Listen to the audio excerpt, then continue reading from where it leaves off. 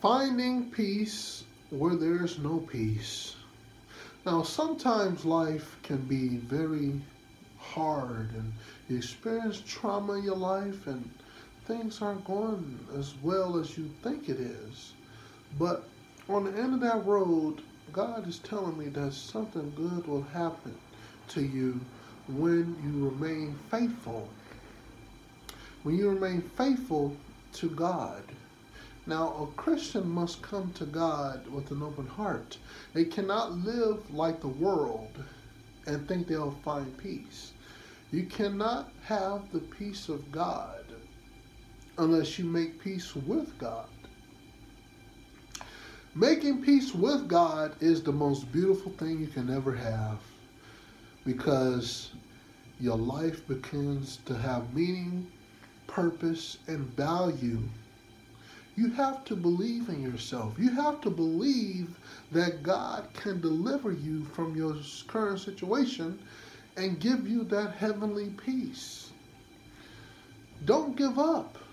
I know sometimes life can be challenging, but me as a priest of God is here to pray for you so you can have a better life, a better future, a better position, that your life will be elevated to the next level and to the position where God wants you to be.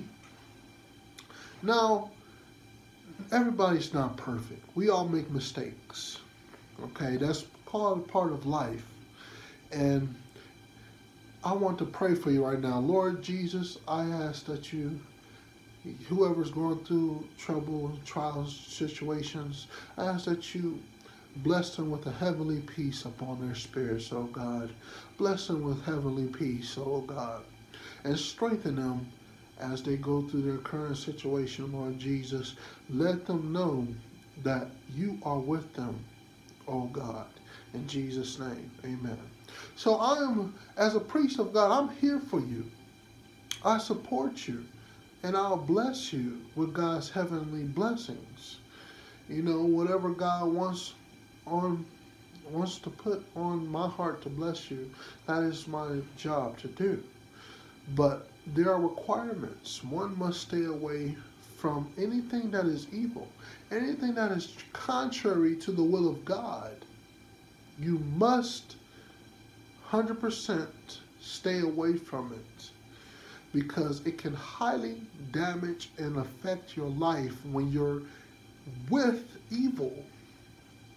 God don't want you to have no fellowship with evil because it will taint your life, it will destroy you and stop God's purpose in your life because you are touching it. You're touching what's that which is not good. And whatever that's not good is not of God. Just think about it there for a minute. So, like I said, as I end this video, I just hope I inspired you guys. Like and subscribe and support me.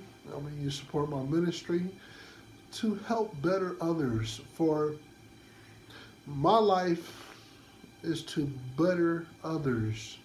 I'm blessed to bless you, to be a blessing to others. So, if you like this video, like and subscribe, support my ministry, and I hope you guys have a wonderful, blessed day and enjoy your life.